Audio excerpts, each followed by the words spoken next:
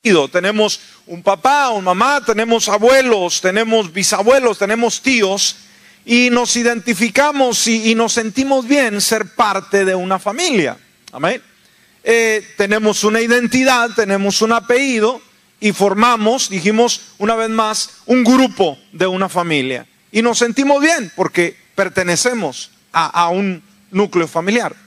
Pero cuando venimos a constituirnos hijos de Dios, ahora venimos a ser parte, pero de un grupo, de una familia diferente. Ahora no solamente nos llamamos fulano de tal, sino que dice que el amor de Dios que Dios nos ha dado, ahora ha sido grande. ¿Para qué? Para que seamos llamados hijos de Dios. Y desde que venimos a ser hijos de Dios, quiere decir que ahora tenemos un Padre. ¿Y quién es nuestro Padre? Cristo Jesús.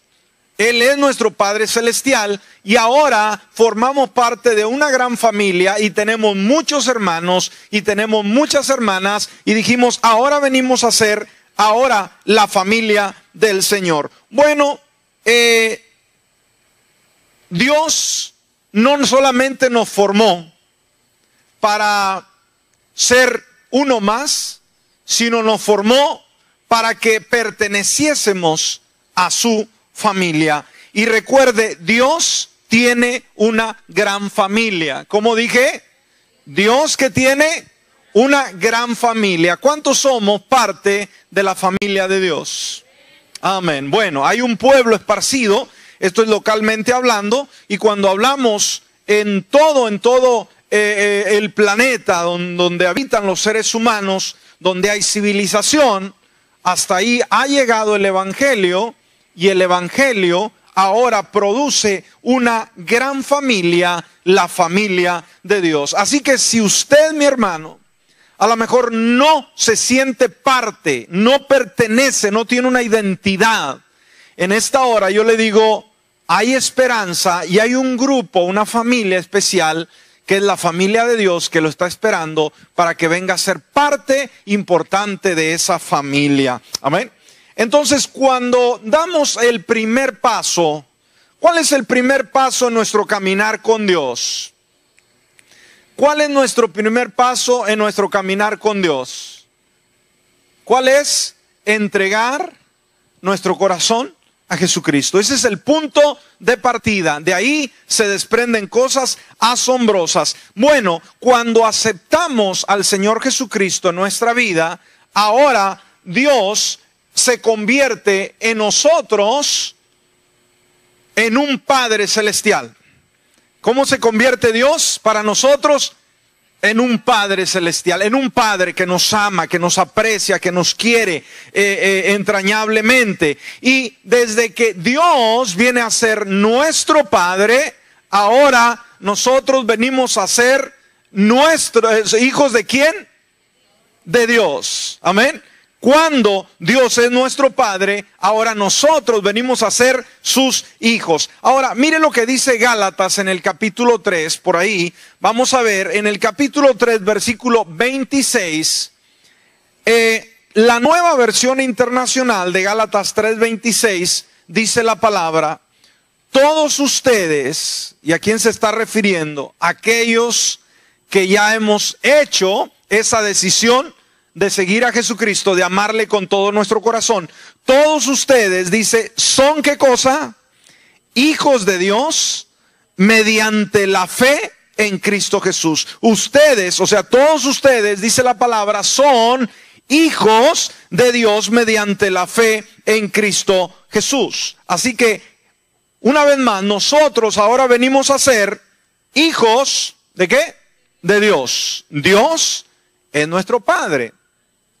¿Y qué pasa con la gran familia de Dios, los demás creyentes? ¿Qué vienen a hacer para nosotros? Mire, Dios nos ama con un amor eterno, nos rescata, le damos nuestra vida al Señor y ahora venimos a ser sus hijos. Pero cuando nosotros vinimos a ser sus hijos, ya había otros hijos en la casa. Amén. Ahora, esos hijos que ya tenían más tiempo, que ya habían caminado a lo mejor más trayecto, ¿qué vienen a hacer esos hijos de Dios para mí y para usted en el momento que venimos a ser de Cristo? Nuestros hermanos, amén. Nuestros hermanos. Ahora, cuando hablamos de hermanos, estamos hablando de una relación estrecha. Estamos hablando de una, una cercanía, una confianza y sobre todo una búsqueda. Porque como hermanos, yo creo que debemos de entender si somos hijos de Dios, Él nos ha cambiado, Jesucristo nos ha limpiado, nos ha lavado con su sangre preciosa. Ahora, aquel hermano y aquella hermana, de la misma manera que han sido lavados con la sangre de Jesús, de la misma manera, ahora debo yo preocuparme por tener la amistad de mis hermanos. Amén. Debe interesarme si tú eres lavado con la sangre de Cristo, si tú ya aceptaste a Jesucristo como tu Salvador personal, ahora tú eres mi hermano, yo soy tu hermano y tenemos que convivir, tenemos que aprender a buscarnos, a convivir, a tener una confraternidad sucesivamente. Entonces los demás creyentes vienen a convertirse, dijimos, en nuestros hermanos. Y la iglesia viene a ser, la iglesia en general viene a ser nuestra familia espiritual. ¿Qué viene a ser la iglesia ahora? Nuestra familia espiritual. Así que eh, esta familia, déjeme decirle, es mucho más importante que la familia terrenal. ¿Por qué? Porque esta es una familia que durará por siempre. Aún en la eternidad vamos a ser todavía de hermanos de la familia de Dios. Todavía vamos a tener una familia espiritual allá en los cielos. Así que, ¿qué debemos de hacer, cree usted, en el día de hoy? Al entender y al saber que tengo hermanos por todos lados y más con los que puedo ver, los que puedo mirar con mis ojos, los que puedo tocar con mis manos, los puedo saludar. ¿Qué debo de hacer con esos mis hermanos y mis hermanas? ¿Qué debo de hacer con ellos? ¿Debo tomarlos en cuenta? ¿Debo ignorarlos? ¿Debo hacerlos parte de mi vida o debo hacerlos a un lado? ¿Qué debo de hacer con esos hermanos que Dios me ha dado en este lugar? Tomarlos en cuenta, hacerlos parte de nuestra familia, de nuestra persona, amarlos, respetarlos, eh, preocuparnos por sus situaciones de la misma manera. Si se, el hermano se duele, yo me voy a doler. Amén. Si el hermano se alegra, yo me voy a alegrar. Pero es importante saber esa función. Ahora vamos a ver en segundo lugar algunos beneficios de pertenecer a esa familia de Dios.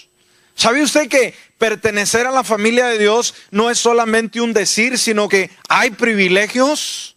¿Cuántos creen que hay privilegios con ser de la familia de Dios? Muy bien. Entonces, nos sentimos a gusto, nos sentimos ah, seguros perteneciendo a la familia de Dios, a la familia local de la iglesia. Sí. ¿Cómo se siente usted en este lugar? ¿Se siente una persona extraña, se siente una persona rara, se siente una persona visitante o se siente que es una persona que es parte de un cuerpo. Amén. Entonces usted, sus actitudes pueden ser diferentes y usted a lo mejor puede decir, mm, la gente no me habla, la gente no platica conmigo, la gente es un poco indiferente. Usted puede decir cualquier cosa, pero el asunto es de que usted debe sentirse parte de esta gran familia. Si usted no se acerca a la familia, va a ser difícil poder ser apreciada, poder ser apreciado, poder ser incluido. Así que usted necesita de alguna manera acercarse para poder ser parte de ese, de ese cuerpo. Entonces veamos algunos regalos recibidos. En primer lugar, podemos ver el nombre de la familia. Tenemos a una familia que tiene nombre, una familia espiritual, una familia de Dios. Amén.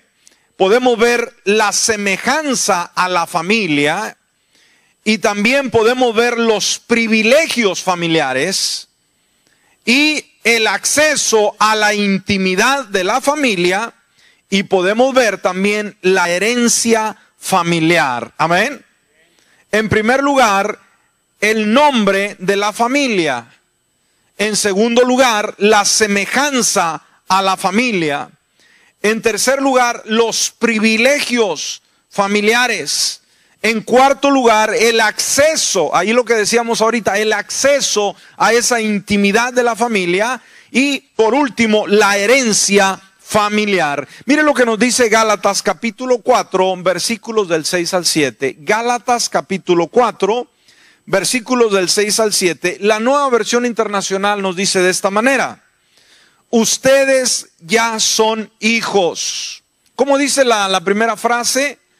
ustedes ya son hijos. ¿Ya alguien puede decir amén a ello?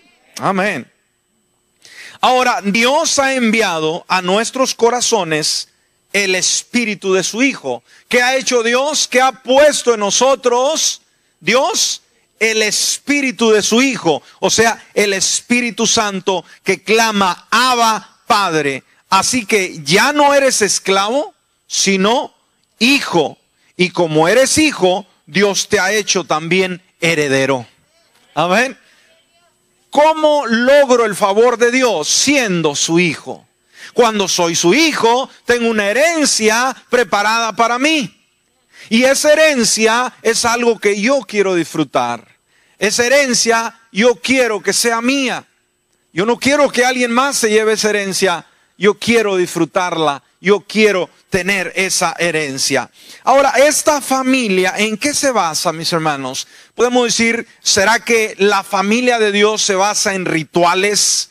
¿Se basa en sacrificios? ¿Se basa en ideologías? ¿Se basa en diferentes conceptos humanos? No, hay un fundamento, hay una base en la cual esta familia está en sí establecida. ¿Y sabe cuáles son sus bases?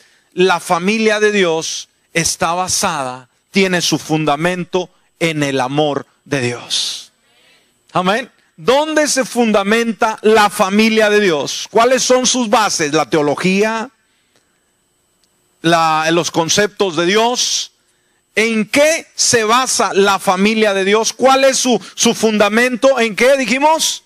En el amor de Dios en el amor de Dios. Ahora, porque está basada en el amor de Dios, entonces el Hijo de Dios debe aprender a amar. ¿Cómo, cómo podemos convivir con nuestros hermanos de la familia, los hermanos de la fe? Amándolos. Ahora, ¿qué significa amar? Por ejemplo, la relación dentro del matrimonio, los que estamos casados, ¿Cuál es el concepto que tenemos cuando hablamos del amor? ¿Qué se nos viene a la mente cuando decimos amas a tu cónyuge? ¿Qué involucra, involucra perdón, amar al cónyuge? Cuidarle, estar en las buenas y en las malas, ¿eso es amar? Pregunto, ¿por qué tienen miedo en contestar? Amén, amén. Entonces, ¿qué más incluye amar al cónyuge. ¿Es todo nada más dos cosas? Fidelidad. ¿Cuál dijo, hermano? Respeto. Respeto. ¿Qué más? Confianza.